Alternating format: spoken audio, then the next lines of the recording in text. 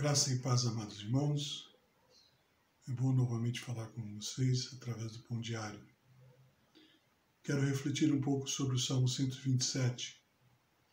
Diz assim o texto da palavra do Senhor: Se não for o Senhor o construtor da casa, será inútil trabalhar na construção.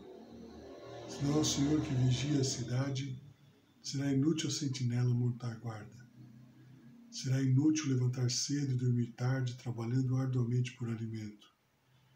O Senhor concede o sono àqueles a quem Ele ama. Os filhos são herança do Senhor, uma recompensa que Ele dá. Como flecha nas mãos do guerreiro são os filhos nascidos na juventude. Como é feliz o homem que tem a sua aljava cheia deles. Não será humilhado quando enfrentar seus inimigos no tribunal.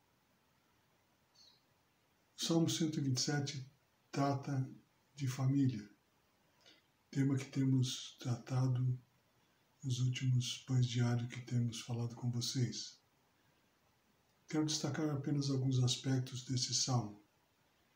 O primeiro deles é que o Senhor deve ser incluído no nosso relacionamento familiar. Se não for o Senhor o construtor da casa, será inútil trabalhar na construção.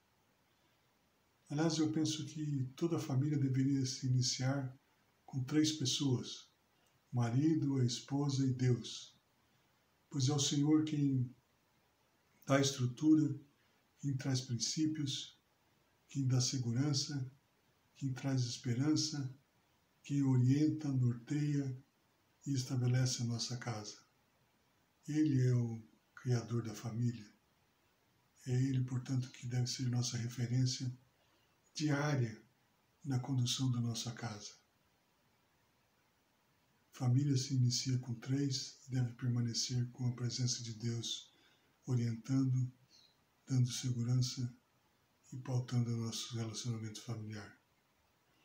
O segundo aspecto que eu gostaria de destacar é que os filhos fazem parte da família como herança, como presente, como dádiva de Deus, o Criador da família.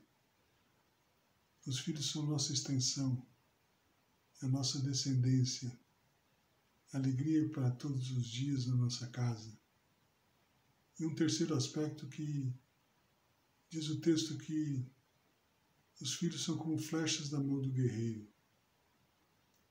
Como pais, devemos dar direção aos nossos filhos, orientá-los, impulsioná-los, animá-los fortalecê-los para a jornada, dando direção, princípios, base de sustentação para eles, para que sejam felizes, atinjam seus alvos e glorifiquem o nome do Criador da família.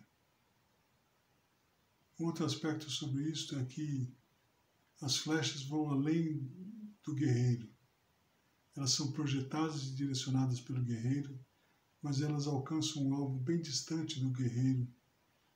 Ou seja, os nossos filhos devem ser projetados para ir além das nossas dos pais, alcançando alvos novos, conquistas novas, glorificando o nome do Senhor sem mais glorificando o nome do Senhor sempre.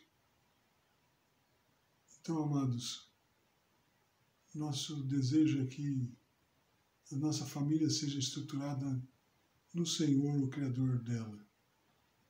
Que a nossa família seja direcionada e tenhamos a possibilidade de ter filhos como herança do Senhor, como presente do Senhor, para enriquecer a nossa casa, alegrar o nosso coração, nos realizarmos como família como seres humanos e glorificar o nome do Senhor.